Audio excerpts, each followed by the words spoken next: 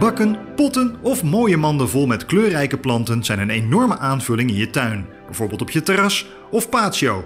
Maar denk ook aan je balkon. Toch zijn er veel mensen die geen planten meer kopen of cadeau doen omdat ze tegen het onderhoud aanhikken. Nergens voor nodig. Met de juiste plantenkeus is onderhoud minimaal en nog duurzaam ook. Vandaag geeft Miranda op de kwekerij wat inspiratie. Ik ga een leuke mand gebruiken, maar je kan natuurlijk ook een ruif kiezen, een hanging basket of gewoon een leuke pot voor op het terras. En wat ook grappig is, als je gewoon wat oude zinken dingen hebt, dat je daar gewoon leuke planten in maakt. Dus weer eens wat anders. En dit is wat het kan worden: een mooie hanging basket of een pot. Maar hoe maak je dit zelf? Voordat we gaan beginnen, moet je in ieder geval zorgen dat de gaatjes onder in de mand zitten, want dit is gewoon dicht plastic. Dus ik prik daar even een paar gaatjes in. Het is logisch natuurlijk, maar je kan het ook vergeten, want anders kan het water er niet uit en dan gaat de hele boel verrotten. En dat willen we niet. Dus dat is stap 1. Dan gaan we de mand met potgrond vullen.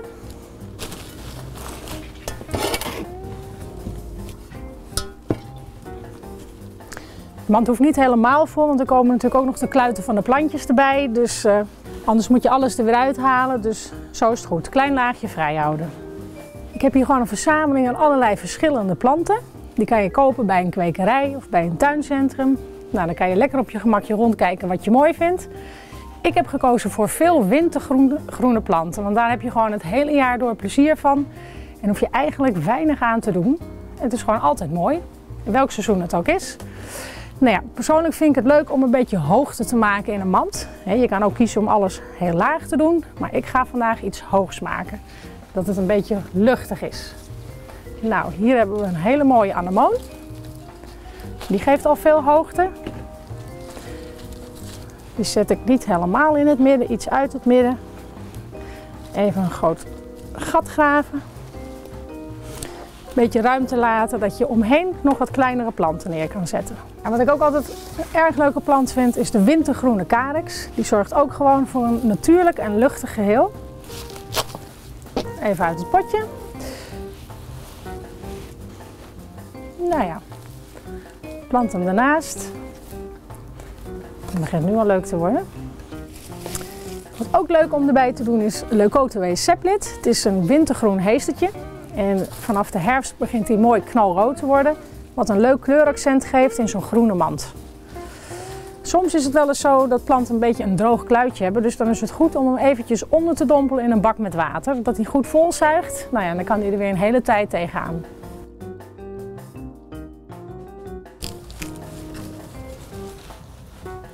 Zo, nou dat is leuk. Het is ook leuk om nog een kleuraccentje erin te doen. Aan de andere kant van de mand. Ik vind heugraas altijd ideaal. Dit is heugraas Sweet Tea. Hele mooie herfstverkleuring heeft deze. Dit is een heugra met een groen blad en een donkere nerf. Ook mooi. Ik kies in dit geval voor heugra obsidian. Dat kleurt erg mooi, dat donkere blad bij de roze anemoon.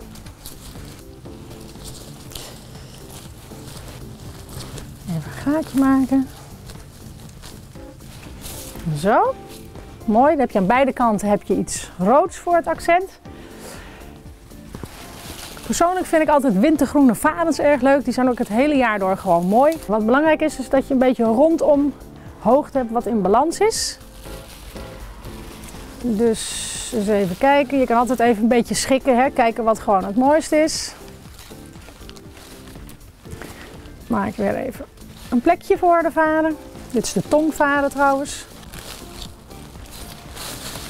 Geeft ook meteen een mooie vulling aan de mand. Dan kies ik nog eventjes voor deze wintergroene carex. Die doe ik dan aan weerszijden. Dan heb je in ieder geval overal gelijke hoogte.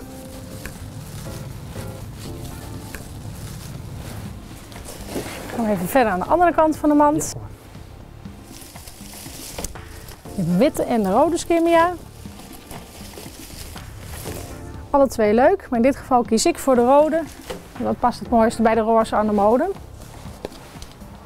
Geeft een mooi kleuraccent in de mand.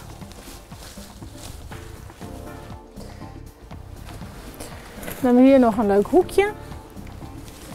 Kan mooi een Galteria, bergthee in het Nederlands.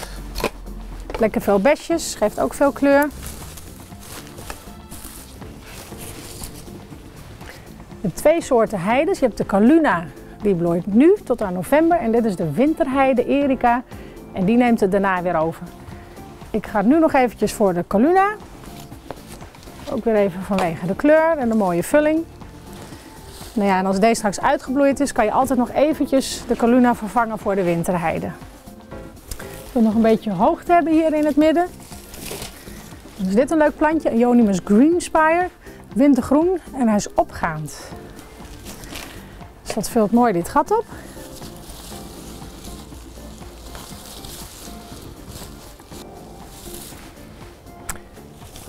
de andere kant doe ik nog even een bombladige leukotenwee. Heeft ook een mooi accent qua kleur. Dan hou ik nog twee gaatjes over. En die vul ik nog even op met een paar viooltjes. Die heb je in allerlei leuke kleurtjes. In dit geval ga ik voor de roze. Past ook weer mooi bij elkaar.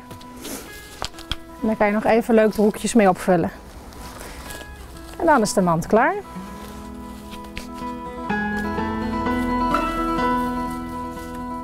Nou, voor pak een beet 50 euro kan je zo'n mooie mand op tafel hebben.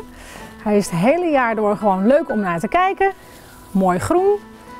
Het enige wat je aan onderhoud hoeft te doen is af en toe even een nieuwe bloeiende plant erin te zetten. En daar heb je er gewoon super lang plezier van. Het leuke van deze mand is ook dat als het op een gegeven moment te groot gaat groeien, je haalt het eruit en je zet het in je tuin. Dus ook nog duurzaam. En dat voor die 50 euro. Nog eventjes een tip. Het is natuurlijk erg leuk voor in je eigen tuin, maar het is ook leuk om cadeau te doen.